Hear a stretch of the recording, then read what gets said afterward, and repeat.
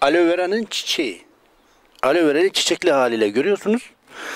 Bu ise aloe vera'nın yaprağı. Yaprağını aloe vera'nın yaprağını kopardığınızda içinde böyle sümüksüz süngerimsi bir jel var. Tadı çok acı. Tavsiye etmem. Oo çok acıymış. Şimdi bu çiçeği işe yaramaz. Yani çiçeği kullanılmaz. Bu yaprağının içindeki jelden çok özel bir formül geliştirdik. Aloe vera jel. Aloe vera ile ilgili yapılan klinik araştırmalarda yani bu jeli ne yaparsınız? Herhangi bir yeriniz yandı veya çizildi veya böcek ısırdı, soka, soktu.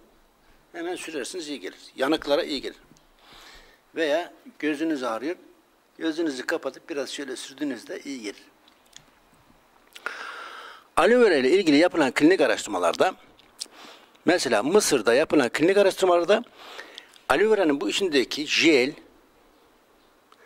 ekzema, akne ve sedefe karşı etkili olduğu belgelenmiştir. Ekzema, akne ve sümüksü süngerimsi bir jel. Eksema, akne ve sedefe karşı etkili olduğu belgelenmiştir.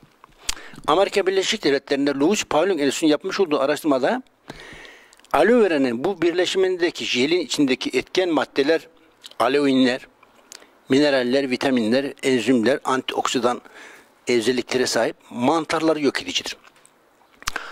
Mantara karşı dünyada en etkili bitkilerden biridir. Tayland'da yapılan araştırmalarda ise tip 2 yani şeker hastaları sonradan ortaya çıkan şeker hastalarının tedavi ettiği belgelenmiştir klinik araştırması. Aloe vera ile bir düzine klinik araştırmalar yapılmış, etkisi ispat edilmiştir. Hürmetler, saygılar.